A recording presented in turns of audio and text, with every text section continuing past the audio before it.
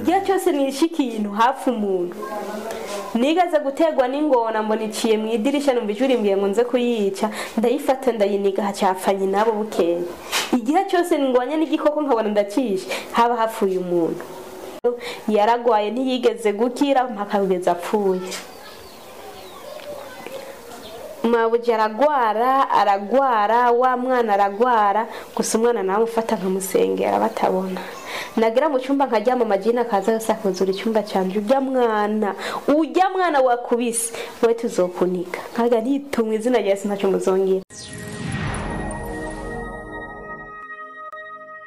Bafashe vura y'imodoka bararindira ko ahava barabura. Bararindira ko agenda barabura. Bahava barururuka basanga umusore yapfuye.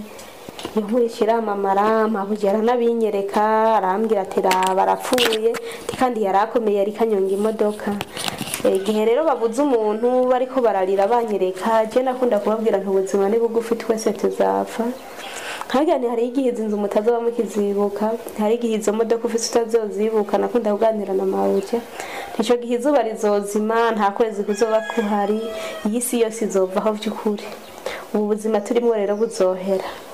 Niko nakunda kubabarira rero ko ubuzima ari bugufi nkamubwira uko nyene bakarira nanje nkigumiraho rero ni ho bakobeje kundogesha barandogesha baraja za saudiya baraja mbega none tukiriko turabandanya ubwo urupfu rw'abo bantu hari icyo rusangiye ni- n'ivyo birotsi bakuroga Ah, ni ukuvuga urwo rupfu rw'abo bantu icyo bisangiye n'ibyo birozi ni uko hari igihe narota hari umuntu muri bo tugwanye nkabona ndamunitse wa muntu agacapfa ikindi cya kabiri narose inzoka iza mu nzu mbona ya nzoka ntoye inkoni ndayikubise irapfuye hacapfa se wabo uwo se wabo na bosi mu gupfa bari banjyanye ahantu mu ishyamba hari ahantu mu ishyamba batwara abakozi kubatongeraho amajyambo twagiye ari saa cyenda y'umutaga dutaha saa tanu y'ijoro. Hari ahantu kure hari hari amazi y'umugende atemba imbere ya nyamazi hari hubatse akazu Ah, kubatse nka twiya tuzu tw'iperemanasi zino ariko indani karimo isima hejuru gasakaje ivyatsi. Jewe rero bambwira ko nicara indani muri ko abagabo nabo bicara hanze abagore hanze. Izo si inzozi n'ibindi twakoze Mm. twagiye. Bicara hariya ku mukeka abandi bicara hariya ku mukeka nanjye nje indani muri nyakazi nicara ndi umwe. Barateka barotsa inyama bari batwaye amasarade n'ijya n'inayakase bafise imikate hari ibintu byo kurya no kunywa nyine bariko barategura ubwo sinabanza umunsi mukuru bafise. Ariko rero ariyo ndi muri ako kazu mbona baravuga amajambo menshi nk'aho bari kubahamagara ibintu. Ariko njambwira imana ati mana nyugurura amaso. Kumwe wugurura gerazi akabona ingabo zibakikije. Nyugurura nanjye ndaba ibintu bariko barakora. Imana ntiyanyuguruye amaso yase ko nogira ubwoba niko navyibagije ahubwo ncanumva indirimbo ivuga ngo turarinzwe n'ukuboko gukomeye ntawe dukoraho turi mu kuboko k'uwiteka. Iyo ndirimbo rero nkomeza ndayumva mbere sanga ndiko ndaririmba nicaye muri ka kazu rero ibyo bintu bamaze kubikora tugataha uwo mupapa mbere ni we yari yabazaniye n'itara twaratashe nk'uyu munsi bukeye yaciye apfa. Kandi bapfa bakomeye nta muntu yagwara muri ico gihe nawe wari wagize inzozi munikana n'iki inzoka. Igihe cyose nishe ikintu hafi umuntu nigaze gutegwa n'ingona mbona iciye mu idirisha numva ijwi ngo nze kuyica ndayifata ndayiniga hacapfanye nabo bukeye. Igihe cyose ngwanye n'igikoko nkabona ndacishe haba hapfuye umuntu. Igihe kimwe nigeze kubona umukobwa ansanga mu cyumba ariko nkabona umenga ni mabuja ahandi nkabona siwe. Ariko ntuma mpawe imbaraga mbona ndamufatishije ukuboko kumwe mbona ndamukubitagura hasi nk'uko ndundagura. Bukeye mabuja byarase nuko avyuka yaragwaye cyane yigisha kuri interineti uwo munsi byarase ko yigisha. Namaze uno munsi ko utakoze ngo ndagwaye ndarembye ngo umenga ni umuntu yara yarankubita ivyo rero nabibayemwo gutyo. Abantu babo barapfa barapfa baza kundogesha rero. Uburozi rero buhava burahindukira bufata mabuja n'umwana mutoya. Hariho umwana nyine ahashyitse w'umukobwa afise amezi umunani. Ni ukuvuga icyo gihe yari ariko aragira umwaka n'amezi. Nka munani atandatu ni gutyo kuko iyo nzu nayimazemo umwaka. Mabuja biramufata na wa mwana biramufata. Mabuja nahashyitse apima ibiro mirongo icyenda n'umunani. Nagiye kuhava umunsi ndoro ko apima ibiro mirongo itandatu na bine. Yaronze asigaye ameze uku amagufa mu izosi yaritunye asigaye ku maso gusa. Yahera agenda. Wa mwana nawe kwari uko nyene. Uwo mwana y'ibyo bintu bimufashe akaduka karira karira karira karira yarira bose bakamuteragiranwa. Umugore akamutera umugabo umugabo akamutera umugore. Uwo mwana bamaze kumuteragiranwa wa mwana yaca ahunga azi yondi yiruse azi yondi nkaca ndamutora nkamufata mu ruhanga. Nkamwaturako amaraso ya yesu ni mu izina rya yesu mwana uwo mwana nta kibi na kimwe yakoze ariko arazira. Ndamwatuyeko amaraso yawe. Yesu umubohore by'ukuri iyi myuka mibi. Ubwo rero imana yari yambwiye ngo batanguye nene bihanuriwe no mu mama w'umunyarwandakazi ati babonye ko uburozi bugiye kubasubiramo batanguye kwikubira. Yabimbwiye uko nyene menya ko kwikubira ari ibintu byo kwikingira. Ndabye mbona bose baciye indasago ku maguru ku ntoki cyane cyane abana nibona bibona cyane. Nkabaza ntaba abana ibi bintu byabakataguye n'ibiki ngo ya ngo ni urugi rwamuriye. Nanjye ndabona neza ko ari indasago zibiri baciye n'ugwembe. Ivyo rero ndabibamwo. Abantu nkibashikira bararaguza bakampa n'imiti nanjye ndabatekere. Umunsi umwe ndayiteka ndayivuma nti mw'izina rya yesu wamutiwe ivyo bagomba kugukoresha byose bize kwanga kugira ngo batazosubira kumpa umuti ngo nteke. Kuko jewe naravavanuye n'imiti. Nawe utetse rimwe ntibasubiye kumpa sinongeye kubona naho bawutekera. Bimwe byo kunkoresha byose ijoro nari narabibayemwo na byo bihava birahera nasimbye ukuntu byaheze ibyo kunkoresha ijoro. Hamwe ba mabuye ndamufashe ariko arankoresha burya byaciye bihagarara. Ntibasubiye kunkoresha ijoro. Hanyuma ubundi munsi mu ijoro ncamana mabuja mu nzozi ashinga utuno agenda mu gikoni agenda. Rica rirambwira ngo wabonye. Ngo ubu ngo basigaye babyitegera kubera bamenye ko bagukore bamenye ko wamenye ko bagukoresha ijoro. Canumva itiro riraheze hanza kuraba mabuja ndamusanga mu gikoni nsanga ariko arateka mu masaa sita y'ijoro saa hindwi sanze ariko arateka carakanguka carambaza ati pasikarine nibiki ntijenje kunywa amazi. Ngo sawa ngo genda umwe. Ngiye kunywa amazi. Ambwira ngo genda umwe usubira kuryama ngo gende ngaha narahindukiye ndamubura nsanga aranyitse ndaba muri stoke ko ari yaroye ndamuburayo. Ndamubura pe. Ego. Rero ni ukuvuga ibintu bankoresheje muri iyo nzu byari biteye ubwoba. Mabuja bwa burozi bimaze kumera uko? Ati sha twabigenjeje ubutariko ni ho basubiyeyo basubira ku ntanga ikuzimu kandi basi hoho rero bagiye bya bindi bagenda mu kaburi baragenda mu kaburi cyangwa mu rushyamba bakamarayo iminsi bagatekera ibyo bazorirayo ibyo bazambarirayo bagatwara abakozi. Rero ari umuntu adasenga bamwe bapfirayo abandi bakavayo babaye abasazi abandi bagashyika bapfa bavuyeyo. Aha ndatanga akarore ku mudamu twaganira yari umunyengozi bamumaranye iminsi itatu mu ijoro batashe aratubwira ati burya mvuye hahandi twari muri rya shyamba ariko njye nanyunyutse ukuboko. Umugabo numva ameze nabi. Saa yine y'ijoro yari yageze nanjye saa yine bari bantegetse ko nyanzimya telefone nshyamba ku murongo ntanamuganirije namubwire ko yosenga. Mu gatondo yabyutse yapfuye. Rero benshi barapfira y'aho hantu. Nanjye rero bategura kugenda ariko batanjanye. Abakozi benshi iyo bamaze kubona ko atambaraga bafise barabajyana. Muga nanjye baransiga. Baca bansigarana abana baca bavuga ati genda musigarane n'abibi wabo kwa mabukwe wiwe. Genda musigarane. Twebwe tugiye kwa muganga jewe bagiye kunyopera mfise isuna zitanu mu nda. Ariko mabukwe baramwandi canke bashiki b'umugabo ntuze kubwira n'umwe iyo naroye. Numva binteye amakenga. Mbega uje gukoresha operasiyo ukagenda utabwiye nyoko ko ari umuvyeyi? Ibi bintu ni biki narayeyo kwa se wiwe ni ho bandaje. Nkasenga ibintu bikanzika. Nyene hari mu nzu y'umushehe bari baranambugije kwinjira mu nzu naguma mu gikoni. Mubwo uwo munsi kubera byari ngombwa ko ndarayo ndarayo. Ndasenga imana hama ndaryama. Ikinyereka rero ibyo bagiyemwo mbona bari mu ishyamba mbona bacanye umuriro mbona bashashe ikirago mbona bafise n'intama ziritse hampande yabo. Amajyamba bariko baravuga na yo numvise bica bigera ukira ngaho nyene. Menya ko bagiye kuntanga kandi ubugira kandi ca nkomeza gusenga rero. Batashe bamaze iminsi bagarutse. Mabuye yaje agwaye yarapfuye yararembye kugira ngo aduge ashike muri etaje ya kabiri iyo yaba. Narinze kumudugana ndamufashe mu mugongo. Ndamudugana ndamwandaza ndamushikanayo kuva uwo munsi rero yaragwaye ntiyigeze gukira mpaka kugeza apfuye. Mabuja aragwara aragwara wa mwana aragwara gusa umwana nawe amufata nkamusengera batabona. Nagira mu cyumba nkaryama amajini akaza yose akuzura icyumba cyanjye ujya mwana ujya mwana wakubise. We tuzokunika. Nkaga ntitumwe izina rya ntacyo muzongera. Kubera rero nari maze kwambara imbaraga zo gusenga. Nagiye kwambara imbaraga igihe nsengenzi ngo ndiko nsengera ba bantu batanga ikuzimu nanjye menya ko ndimwo naho rero natanguriye umurindi ukabije wo gusenga. Senga imana cyane nisonzesha ndayiririra ibihe byinshi nkora amazamu kugira ngo izi ntabare. Nasenga nkabaza imana harageze ko mva nzu imana ati ntiharagera ko hava. Nigumiraho. Ba bantu bakandoga bakarindira ko nzopfa bakabura. Baranteye inshinge z'uburozi ngaha aho barunteye hambere ku kuboko baramvomye amaraso ngaha aho bayamvomye n'ubu ntiharazimangana bankoreye ibintu byinshi biteye ubwoba. Nararyama bakarara banyicaye ko nkarare nkikijwe n'ibijini bikankunyagura. Kugeza aho umunsi umwe nigeze kwiyumvira ko noja mu kabati indani nkiyugaranirayo ariko hose iyo nari kujya byari kunsangayo amajini akantera ubwoba. Wewe tuzokwica. Ndayabona. amaso mu yandi asanga mu cyumba.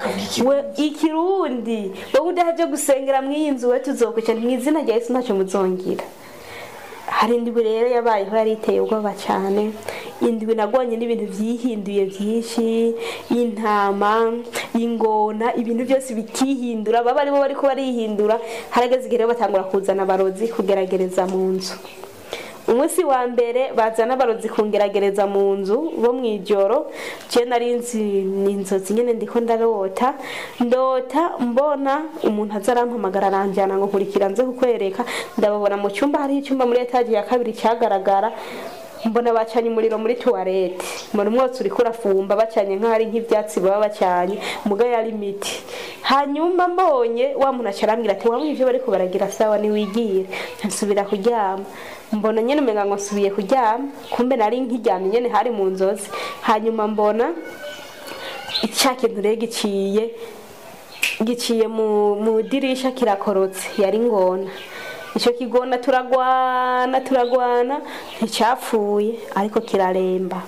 Kirembye kikimeze nk'ikigoyagoya. Cyambona wa muntu yari yantoye bwa mbere agarutse kuntora acambwira ngo nze kukwereka kandi biriko biraba mu cyumba. Cangena mu cyumba asanga amabuye nawe yapfuye ameze uku yaravye yarerembuje amaso. Mbona bose aguma mukora akavuga ibintu by'amajambo yamuvugirago. Uwo munsi mu gatondo baravyutse babona ndakomeye nta hantu namwe mbabara. Baciye bakora iki? Baciye ba- banyimura mu nzu y'iwabo banjana kundogera kwa sebukwe kwa se wa bosi. Banjanye bari banteze umuti mu muryango. Ariko bakimbwira ko tugira tujyeyo surprise atani ivyo bateguye ko ariyo turira uwo munsi kuko hari umunsi twarira iwabo n'igihe twarira muhira. Chanda telefone umukobwa w'umugenzi wanje yari ariyo nari nzi ko asenga. Hewe nsengera je banjanye ahantu kandi numva afise ubwoba. Wa mukobwa agisenga imana imwishyurira ko banteze umuti. Aragira na manifestation mbere imwe yigaragaza by'ukuri ko hari ibintu nari ngiye gusimba. Burya twarashyitse turururuka imodoka.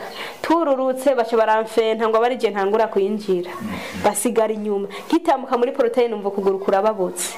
Kubabutse nkoma induru niyo ndakoma induru niruka kugufata. Ariko ndacumbagiza ndatambuka ndashika mu gikoni je nama nicara mu gikoni sinigera nja mu nzu nkuru ndahicara. Nicaye mu gikoni numva biriko biransasata bimba babinjya biduga. Nca ndasohoka hanze nkanicara ku gatebe kari hanze ndahafata ndasenga ndabivuma ndabivuma mu izina rya yesu mbona birahumuye. Wase bukwe nyene wa mabuja se wa bosi mbona arashyitse aranyitegereza mbona arandambukije arambaza ngo ni gute mucyara unavuga ati ni sawa arandengana arigira kumbere rero yarazitiwe hariya tumutegera batega nabi reka bazane iwanje nigerageretse iwe naho biranga. Niho rero banteze cyane bakantega muri dushe muri dushe niyo nasengera umwaka wose nasenga niyugaraniye muri dushe nkarambarara nyene hasi nkaririra imana. Umunsi ngiye sanga hose bahatondesheje imiti mbonye hatonze imiti banteze cafata amazi rero ndagira. Ndabikoropa. Mabuja ati n'umunsi ukorofye dushe kabiratoya ti mu gitondo ntane nakorofye. Kumbe nabonye imiti bateze kandi nawe abonye ko ariyo nakorofye ariko aje kunyibarisha. Byari bigoye rero cyane kubana n'abarabu. Ngarutse rero kuri hahandi navuga nabona bariko baracana imiti. Nkibaza ngo ni inzozi. Mu gatondo mbyutse ntanguye gukoropa nahereye muri ya tuwarete. Nsanga ya miti aho bayicaniye ni ho ikiri. Ikintu kimwe cyambabaje ni uko satani yankoreye akantu telefone nari mfise icyo gihe bakayinyaka. Na ikintu cyose mbonye nagenda ndagifotora. Ahandi nciye nagenda mfotora. Ya miti ndayifotora mbere ndayirungikira umuntu w'umukozi w'imana twaganira ndabimwereka. Igihe cyose iyo nina asanga banteze narafotora nkamwereka. Ikintu cyose bakora bimwe by'amazi batera ishinge cyose narafotora nkaza ndereka abantu. Nta kintu na kimwe nigeze ntafotora rero. Gusa harageze igihe baramenya maze gutangura gutembera hanze umunsi umwe ni ho muri ofisi babanje baramfata bikeyi barabizimya. Rero nabonye ibintu biteye ubwoba muri iyo nzu. Hanyuma hariho umupfumu rero ngo yari yarabaraguriye ko batanyatse telefone ntazopfa kubera ko inkome zifise zimwe nazikura muri telefone. Ibanga. Ibanga gusoma bibiliya birimo imbaraga ziteye ubwoba. Nimba usoma bibiliya kabiri ku munsi hariho umudayimoni ateye kubahuka afata ubutayisoma rero ya masengesho twa tuntu ufise muri telefone uwo muntu abaragurira ko batanyatse telefone ntazopfa. Bagerageza rero kuza kuyintwara. Bosi akamaca mu kibambazi. Aho yonjikiriye ngo ayitore nkaba namubonye. Nkamuvuma mu izina rya yesu nkamukemeye agasubira inyuma akiruka. Telefone yanjye yari yarabananiye gutwara. Rero bashaka baze bayitware nsinziriye nzovyuke ntarunkunda ibibaza kuko nari mu cyumba jenyine. Ibananira gutwara. Ibananiye gutwara ngira inzozi rero mu ijoro. Mbona umuntu araje yuguruye akabati k'iwanje umuntu akuyemo impuzu yankuriyemo ibutura nari mfise yikora arayimpa ngo akirambara mbona ndayambaye. Arasubira araza. Imbere yaho reka manze subira inyuma gatoya nari mu masengesho. Imana yari yarambwiye gukora amasengesho ariko itambwiye igihe nzo yarangiritse nagize inzozi mbona umuntu ampaye ipataro iremereye cyane n'umupira w'imbeho ukomeye rwose. Ambwira ngo ambarize impuzu. Hagiye kugwa imvura nyinshi hagiye kuza n'imbeho nyinshi. Izi nizo zizogufasha nikanguye mpiga ibyo ari byo ndabibura ariko menya ko mpawe imbaraga zo gusenga kuko imvura numva ari ibigeragezo. Imbeho numva ari ibintu biteye ubwoba. Nca ntangura amasengesho. Icyo gihe rero nari mu masengesho yamaze iminsi cumi n'itatu. Mu kwezi kwa cumi na rimwe ukwezi gutanyoroheye ku mwaka w'ibihumbi bibiri na mirongo ibiri. Niho nahuye n'intambara nyinshi mu iyo nzu. Nigeze no kumara indwi yose ntigera njyama ntajyama ku mutaga ntajyama no mu ijoro. Rero ndi muri ya masengesho kandi nabwirwa nkatangura ni ho rero nagize iyo nzozi mbona umuntu aza mu mpuzu zanjye ankuriramo yabutura. Mbona arayimpaye ambwira ati yambare. Ndayambara arasubira agenda aho nkushyira impuzu zo munsi mbona akuyemo kandi gahuzu ko munsi gatoyi agasuvete marakama ambwira ngo ambara ko hejuru. Ndambarako. Nagejeje kwambara. Ego hejuru y'ubutura. Mbona ambwira ati tora telefone yawe. Ndayitora. Ati shiramwo uyambarireko. Caninjiza ngaho imbere telefone.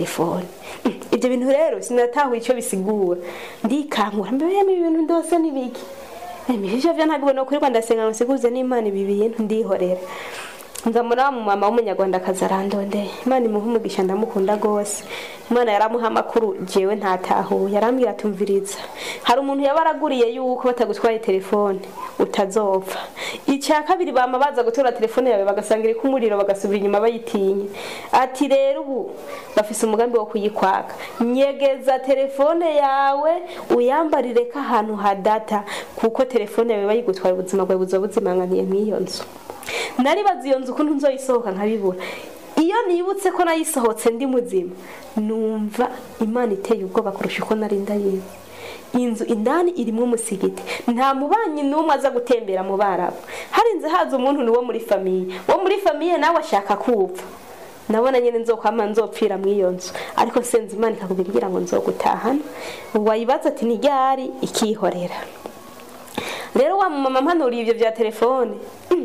Cyane bukaba rimwe naranda arota cyane ndayinyegeza ariko nanjye nzanamo akantu k'ubwenge gasumba ko wa muntu yambariye nshashiramo agasashi kugira ngo umubiri nugira indugumba telefone ntizigire ikibazo nkubita ngaha imbere nambariramwo ndigira mu kazi hamwe nicaye ngo dukore amacapati n'amabuye isashe ngo nwagara nwagara nwagara. ndavuga ati noneho rero wa muntu aramfasha ibi ni biki casubira inyuma ngenda muri tuwarete ndafundurura yasashe ndayikuramo ndayita. Ngarutse ndicara numva ntibivuze menya ko nihenze kuba nashyizemo isashe wa muntu atayo yambariye mu ijoro mu nzozi. Yari yabonye ko isashe nicaye izoca ivuga telefone bakumva iyivugira. Sawa telefone nayambariye ko iminsi cumi n'ine.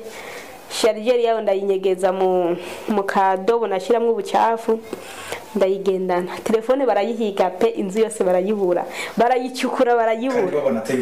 Ntayo mfise mu cyumba barahize mu mpuzu mu kabati muri tuwarete hose barasatse barabuze. Kugira banyereke ko bayisatse baciye bagana muri ka kadobo nshyiramo ubucafu sharijeri barayikurayo bayishyira hejuru. Kandi yari muzi. Babura n'ubwenge bwo kuntwara sharijeri. Iyo bantwara sharijeri byaba bihetse. Nari gusubira gukura umuriro hehe ariko barasamara ntibayitwara. Urabona ko bayisaka yego ndabibona.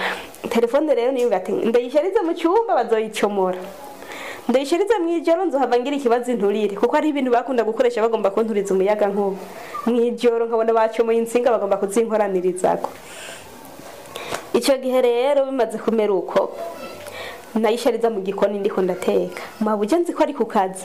Narayisobokana nkayicomeka nkateka iri hampande yanje.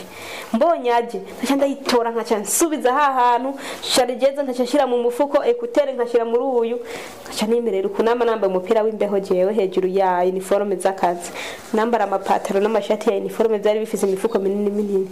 Nkaca nambarira ko nkigumiraho umunsi umwe rero arayinsangana uwo munsi ayinsangana nabonye bosi atahavuye ku kazi nka saa tatu. Ko atashe mu gitondo noneho ubuho karabaye. Umuntu no muri korona yase kuwugara. Nuko abapolisi bakaba bamwugariye bakamuca amande. Ari ugukunda amahera gusa. Iyi saha atahishijwe n'iki? Njya mu cyumba ndafukama hahandi sengera muri tuwarete mana nibiki kwaje? Mbaza imana. Njya mbona reka abwira umugore tumviriza iya telefone utegerezwa kuyimwaka ni we wumukoresha. Nisho ushari kinzanye kukubarira. Sawa. Mabuja rero uwo munsi ntihaciye yinsangana mu gikoni. Uwo munsi nyene byagenze uko. Arambwira ati "Eh, wewe ubu rero wikukiye usigaye ugana na telefone aho ugeze hose. Ntitwakubwiye ko ata mukozi akorana akazi telefone? Ntoya. Ndabwira ati mbabarira. Jewe nayizanye kuyisharija ndayisubizayo tisawa aca bahaziriye ngo nayisubijeyo. Mugabo barayihiga barayibura. Ku mugoroba bosi aca agenda kuyituriza. Sinzi aho yagiye kuyituriza. Hariho muga harimo telefone. Harimo ibi bintu byabo by'amareba. Agiye kuyituriza yagiye nka saa moya asigaye ndakora isuku duhegeye gufungura twafungura akaregeho ahantu nakora. Mabuja ashaza kunjungira ku muryango w'igikoni nk'uko. Telefone kugira ngo ize guhira mu cyumba y'inyegeje nanjye ngume mu gikoni ntanyemerere ko njyayo kumbe ntibamenye ko ndayifise. Turi kumwe. Bosi yagiye barafirigita ibintu byabo numva telefone umuriro numva indugumba numva hangaha imbere numva ubushyuhe numva impuzu zigira zifatwe. Timani ibi nibiki caniruka muri stoke ndabyo telefone kuri ekra ivyandiko byose sanga byavuye ko sanga yabaye amazi. Ndayifata. Ni mu izina rya yesu. Mana nkiriza telefone. Iyi niyo njyamwo niyo nwamwo mana ntafise telefone nta buzima. Jewe nosonza nonyoterwa ndakwinga inzu nkirize telefone. Nkabona isaha iragarutse. Mbona iratoyerezo. Sawa. Naciye ntangura kuyivuza. Navugije amasengesho y'igifaransa. Mvuza akavorime gatoyi nca ncomeka ekutere mu matwi nkasubiza hahandi nca ndacisha no mu mpuzu ndadugiriza hano imyitandiro igera ino nta muntu yigeze abona ko ndiko nkora na telefone iriko iravuga. Ndakora ndaheza bose amaramara aragaruka n'amawuji aragaruka. Telefone yanjye iguma gutyo. Sawa. Bose icyo gihe aca aragenda azana inyama nyinshi cyane bategura ko tuzozirya ariko wa gatanu umunsi wa nyuma jewe nkacampfa hari ku itariki mirongo itatu y'ukwezi kwa cumi na rimwe. Iyo niyo garanti bari bampaye ya nyuma pe. Niko zimungira ngo yayiyemereye za nyama ni ho hagera ko bazotsa. Emwe arambwira ati ntiwirigura dufasha wegenda ukinisha abana twe turavyikorera. Emwe niriwe ndiruka n'abana hanze nabo bazijya ko barazotsa barazotsa. Zari nk'ibroshete nk'amajana nk'atatu. Bajyana hanze barotsa. Mabuja acambwira mbe ndategura utundi tuntu two gukoza nk'amasarade amafiriti sawa. Inyama ya mbere ihiye hanze baca bayirungikana umwana. Hariho umwana w'imyaka itatu. Yari afise itatu nkihashika nagiye kuhava afise ine. Yakunda kumbwira ngo bazonkata nk'uko ngo bakata inyama. Niko umwana yakunda kumbarira wewe tuzogukata nk'inyama. Za nyama zihiye se waca muha zibiri iyi uyishire pasikaline iyi na yo yige. Wa mwana aje? Ngo akira inyama papa mpaye ndagoye nca ndamwaka imwe guyiwe. Imwe ariko arampa ndanka kuyitora. Umwana akoma induru. Akomye induru nzamona se we yuguruye idirisha arandaje. Yari hanze yuguruye iryo mu gikoni arandaje. Nca ndayitora. Ndayitoye nca ndayisenga. Naciye ngenda ku meza ndicara. Ndavuga ni mu izina rya yesu ndayatuye ko amaraso yawe ndayihumanuza na cyane cyane nari narizi ijambo ry'imana ryari ryambwiye ngo byose birejejwe ku wejejwe nimba atacaha kikwagira nimba uri umukirisu by'ukuri nta burozi buhari ku bakirisu ndavuga ati mu izina rya yesu rero n'amavitamine. Nca ndayirya yanyama ndayiriye nsohotse hanze sinzi ibintu bosi yantongereye ncamita nasamura. Ndasamura se rwose mbona arandabya azunguje umutwe. Rero nari narasenze imana hari ikintu nasimye ni narariye uburozi buranduhisha nubwo ntagwara. Bwaranduhisha by'ukuri nkumva ko ingufu zaheze kuvoma isa na byo bya misi yose birababaza. Naho naba ntagwaye. Cyambwira imana mana wewe abapfumu satani ntabaha kumenya ibintu bihumanye. Abapfumu ntibamenya uburozi ntibamenya uburyo umuntu agwaye. Mwami ndakwinginze nanjye ushireho ikimenyetso. Nzojya amenya ibintu biri mu ishano cyangwa bihumanye. Imana ikimpa ibimenyetso. Bampaye ikintu kirimo uburozi ngiye kugitora nk'uku. Naza numva umube munini iyo uduze nkumva umenga nodaho cyangwa naza kubitora ukabona nkudashwe imbere kandi atani sisi umuntu ari keyimfisi byaba ari ibintu bariko barantongera bya bindi by'ubusazi nkahita nasamura. Ibyo bintu rero ndabibana rero nari ndabimaranye iminsi. Bose abonye nasamuye acazunguza umutwe. Ya nyama bayimpaye mu ishano antongereye ibindi. Noneho rero mite niruka njye mu ibarabara mba umusazi nze gupfirayo na rya shano najya jewe nigumiye aho barajya baraheza. Mabuja mu minota nka mirongo itatu yari akumbagaye aradahwa arapfa araremba nanjye nkomeye. Bace batwara ngo bagiye kuvuza. Izo za nyama zihera atacyo mbaye. Ubundi munsi mawuja aza mu gikoni ngo ajye kumfasha guteka ari ku mugoroba saa kumi. Ngi ndiko ndondera ibyo mu ijoro bosi kumbe na se wiwe bari ahantu mu cyumba bariyugaranye muri nyarupangu turimwo. Nzi ngo bosi yagiye ku kazi. Kumbe bariko barandoga bariko bandungikamwo ibintu. Jewe no kuvuga isaha iyo ariyo yose ndaguma numva bikubita hariya bikubita nkabona ibigwa imbere yanje ukabona ibiyoka byikubise hasi ukabona ibiserebanyi byaguma nyene bimpiga. Uwo munsi rero ndi mu gikoni. Turi kumwe na mabuja numva ijwi rintegeka gusenga. Senga senga senge gute. Sindi bumusige mu gikoni nje mu cyumba. Cyo ntangura gusengera mu mutima. Ndasenga tuguma dukora akazi ndasenga gusa. Ntitwari ko turavuga. Nsengera muri mwe munza numva ikintu ku rugi. Ngo agi numva urugi rurikubise ngira nk'uko ariko we mbona gumye yitekaniye. Bigaragara ko atumvise na kimwe. Ubwo nyene nzamona atanguye kubiruguya ahagaze kuri kuzinete turiko turateka mu nuguya ruramurenze arajugumira mbona arirutse yicaye ku ntebe aho bafungurira. Arajugumira biranka ko yicara. Mbona avuye ku ntebe agiye nk'uko yikubise hasi. Yikubise hasi arampamagara. Ngo nyugururire idirisha ndugurura. Atsa climatiseur ndayatsa. Ashiramwo vandarateri byose nshiramwo. Indugu mbiguma imurenga. Atangura kudahwa. Araremba. Arakumbagara arakukumbamwe adashobora no kwivyura ijambo yarashoboye kuvuga avuga ngo bayi bayi nanjye nkitegereza ariko manura igitangaza. Sinakorako ariko manura igitangaza. Mana urabona urwo rupfu bagira banyice ntagira n'uwiwacu mana uri umwami by'ukuri. Nkaguma nirabira acambwira hamwe ariko arakukumba ngo genda uzanire telefone. Aca arahamagara se umugabo wiwe aca yitabira mu nzu kwa se iwacu araza. Aramubaza aramuhamagara fatima fatima nibiki nibiki? Baya bayi mucyara we. Mugirira bayi nkiyo ndeka. Ibyo bintu mu minota nka mirongo ibiri yaryo ari kuba bimwishe. Nzamana baramutoye baca bamwuriza imodoka baca baragenda ku mupfumu wa kure. Basesize bambwiye ngo bagiye kwa muganga bagarutse banzaniye isambusa zibiri. Ndazitoye ngo ndazirye nta peti yo kurya nari ngifise cyane kubera uburozi bwari bwarandiye umutima. Nca ndazita ni ho baza kumbaza zari zimeze gute ntizari ziryoshye. Ah, bambwira ko yari mugenzi we yari yazikoze. Ntarabizi kweri nanjye ntigeze ndazirya. Umunsi mabuye yagarutse yera nk'urupapuro amaraso yose yakamye abonerana nyene ku mubiri ugize nk'uku ubona atari amaraso akiriye aho rero ni hamwe yari yaronze asigaye angana gutya. Ni ukuvuga rero uburozi bwose icyo gihe bandoga bumwe bwajya muri we ubundi bukajya muri wa mwana. Umwana nkamusengera nigenda namusengera akavomisa bikamuvamwo nyina nawe akaguma ahe- atera ahera. Bosi nawe akaguma akomeye. Se wiwe akaguma akomeye. Ariko nkavuga ati mana none bajya abantu bariko barabikora ko atari bo bariko barapfa? Kumbe nari sinari nzi ko imana yashaka. N'abandi bakure nabo baze bashikirwe bize bimenyekane. Kuko iyo bose apfa urugamba rwari kuba rurangiye ariko hakaguma hapfa inshuti ziwe imiryango wiwe mabuja arapfa ntibyari byoroshye rero. Niko rero kugomba kunyicisha amaboko.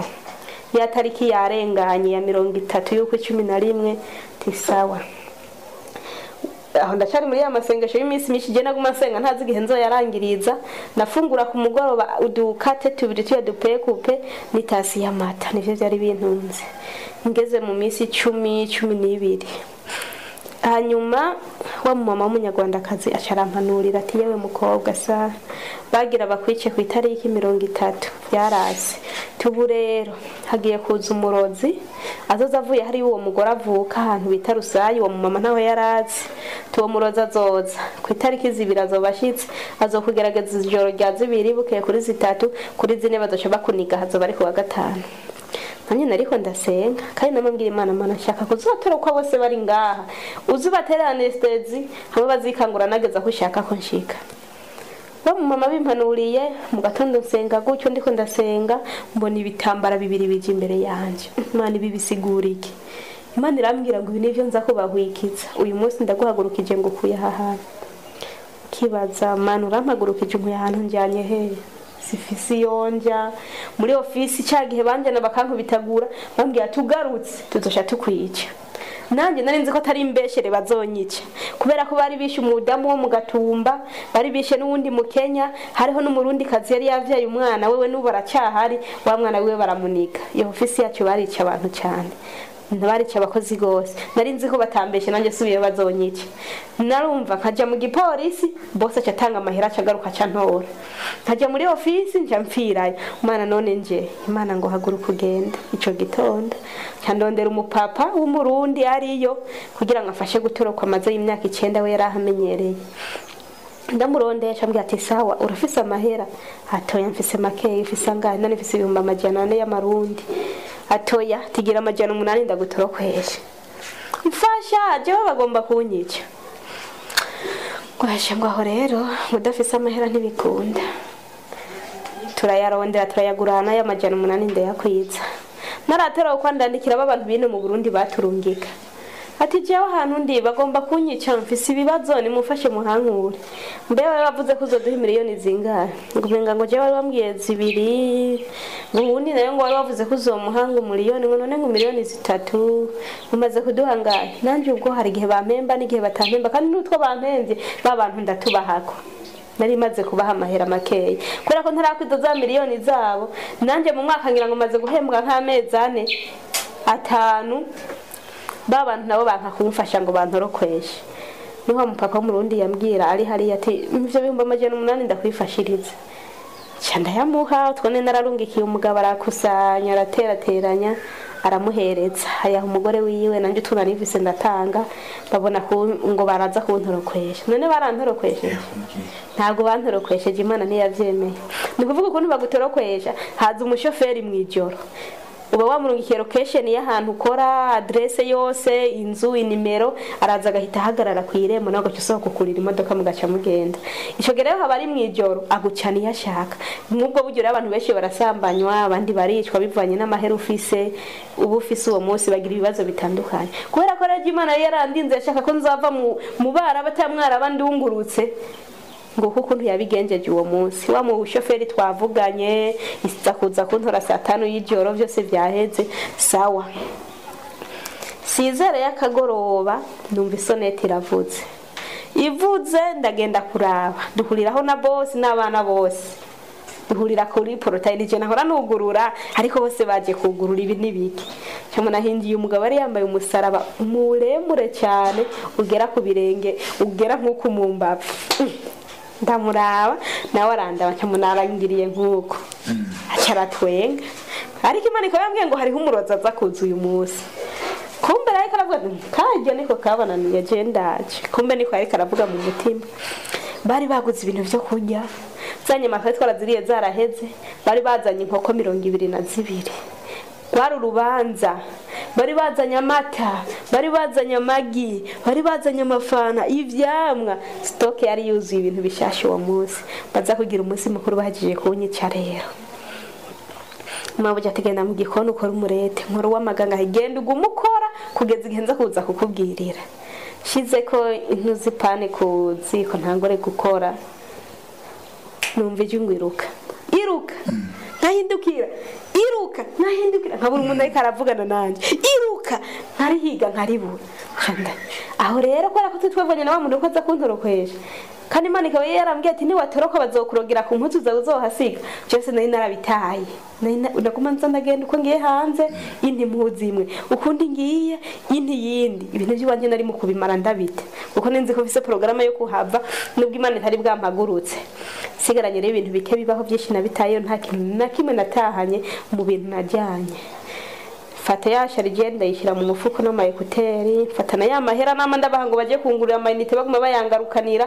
Niyo nari mfise amahera atanu yonyene y'igihugu cya Oman no mu gutoroka bankoreshereje twa tundi nari mfise no mu Burundi tudakwiye y'amajana umunani bansaba bose ndamuhenda. Rero twebwe muhira twagize ikibazo hariho abana bavunitse ba musazanje ndungikira amahera yo kubavuza.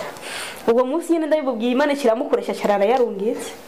Ashyitse ntamuna mpaye iresi yayo yamaze kuyarungika. Ntiyagomba kundungikira nahora nkoma amashi nkarira no kwisondesha nkisondesha kugira ndungikira amahera. Uwo munsi ashatera yarungika. Niyo nakoresheje rero maze gutorokwa kugira ngo ushobore kuronka aho ndara ntagize ikibazo. Wa muntu bayarungika ko ngo yantangire mu Burundi na cyo nambwira ati yareke kuyatanga. Ndi mwibarabara araza kumfasha. Sawa rero. Ryajwi rimbwiye ngo niruke ndasohoka nje kwiruka. Nkora kuri porotaye ya mbere. Pro- korotire yari ifise imiryango itatu. Ndasanga gate ya mbere irugaye. Ngenda ku ya kabiri isanga irugaye ngenda ku ya gatatu. Y'imodoka bijya vyiyugurura batashe. Nsanga banacugaye banakibrotsa ahubwo. Hari hakuma nahora nsonda ndiko ndasohora amazi. Nogeje mu rupangu ndagashonda ngo ndabe ko gwiyugurura nsanga rurabrotse cyasubira inyuma y'inzu ndahagarara ndajunja ariko mana wambwiye niruke ncaye ibipangu byaho na byo bubaka birebire bigera hejuru utoshobora gusimba. Nkakiraba mm, nkaraba hasi. Ngende nkora umurete kugeza igihe aza kuza kumbwirira ndege azi ko ndiyo ndi? Bakiriye wa mushyitsi bari mu nzu sinzi ibyo barimo.